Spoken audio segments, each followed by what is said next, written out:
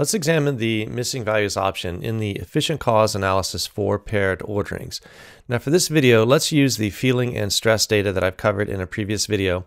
So recall that we have 53 consecutive days of ratings for these various feelings and fears that we see over here. And then we have 53 consecutive days of stress ratings. Now the missing values option is fairly straightforward. But to make sure that we understand exactly what it's doing, I'm going to cancel out here for a moment, and I'm going to delete some of the daily ratings for the feeling of anxiety. And I'm going to go over to the right and delete some of the stress ratings as well. Now you can see we have some missing data in the uh, data set throughout, but working with the anxiety there might make it clear. So you see I've deleted some of the data. So let's go to Analyses, Efficient Cause Analysis, and Paired Orderings. And for the missing values option, we have omit from totals selected as the default. So let's take a look at the patterns. And here we're working with a dichotomized version of these data. And let's take a look at feeling anxious. And you can see the red line is broken here. That's the cause. So that's the anxiety ratings, or those are the anxiety ratings. And you can see there are the observations I've deleted.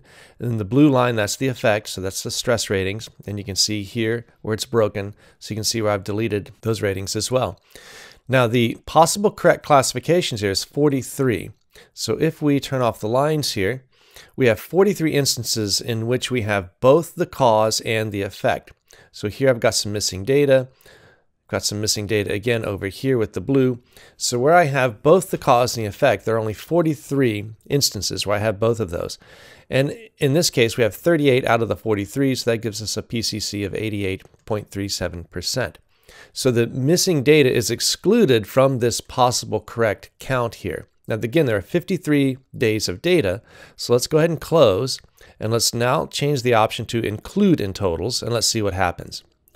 Again, go to anxiety, Notice the graph hasn't changed at all, but now the possible correct is 53. So 53 possible correct classified observations here. So the missing values are included in that total. So that's what is meant then by here, the missing values being included in the total. It's in the total possible correct classifications.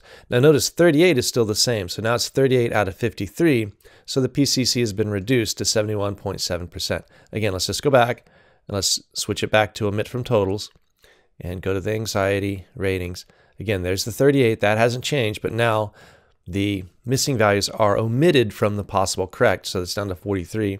And the PCC, again, as we saw before, is 88.37%.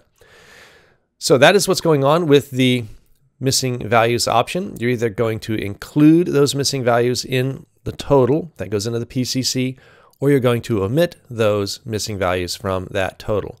And as always, it's entirely up to the researcher to determine which is the best route to go for your particular study, your particular research design, and the questions that you are attempting to answer.